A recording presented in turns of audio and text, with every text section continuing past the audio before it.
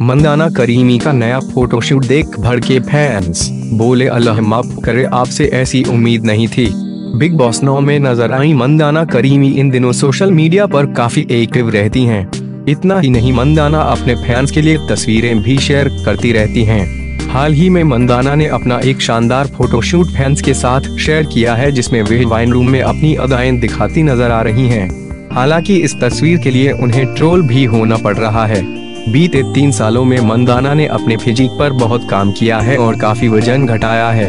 मंदाना के इस hot photoshoot को जहाँ कुछ लोगों ने पसंद किया, वहीं कुछ लोग उन्हें ट्रोल करने से भी बाज नहीं आए।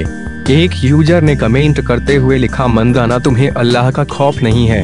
इस्लाम को नापाक मत करो। एक ने लिखा, इस्लाम कभी अश्लीलता नहीं सिखाता। एक यूज़र ने लिखा, अल्लाह माफ़ करे, आपसे ऐसी उम्मीद नहीं थी। कई यूज़र्स ने उन्हें ढंग के कपड़े पहनने की सलाह दी तो किसी ने कहा जहनुम में तुम्हारा इंतज़ार हो रहा है। एक ने लिखा, बेगैरती की भी हद होती है। एक ने लिखा, इस्लाम को खतरे में मत करो। अभी कुछ दिनों पहले ही मंदाना को उनकी रिप जीन्स के लिए ट्रोल किया गया था। कई यूज़र्स ने उनकी ड्रेस पर कमेंट करते हुए उनका मज़ाक उड़ाया था। एक यूज़र ने लिखा था, लानत है ऐसे फ़ैशन पर। एक ने तो यह तक कमेंट किया, रेल के नीचे आ गई थी क्या? बता दें मंदाना अक्सर अपने सोशल मीडिया अकाउंट पर बोल्ड तस्वीरें पोस्ट करती हैं, जिसकी वजह से वे हमेशा ट्रोल्स के निशाने पर आ जाती हैं।